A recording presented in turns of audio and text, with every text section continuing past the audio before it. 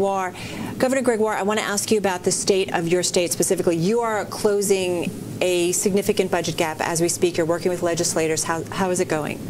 Well, we've got a challenge on our hands. We're not like other states. Uh, most of us, by far and away, are struggling. We've got a $4.6 billion shortfall looking at our 11-13 budget, and I've got to close a $1.1 billion shortfall by June of this year. If I add Oregon, California, and Washington all together, it's a $34 billion shortfall. Will you close that gap by June?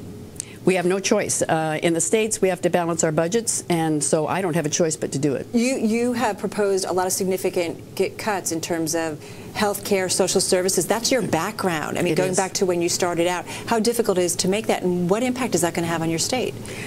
Uh, you know, I would never have expected a budget like what we're seeing in, in our state, ever. And I surely would never expect it from me, right. Uh, whether I'm taking it out on education or health care or social services. There are cuts that I just never would have fathomed. So we're going to do short-term cuts because we've got to. We don't have a choice. But I know full well there are long-term consequences. Mm -hmm. When you cut education, there's a long-term consequence not only for the student but for us overall as a state. So I'm doing what we can uh, to meet the challenges, but we're also transforming Washington state government. We can't just make the cuts. We've got to change how we do business. It's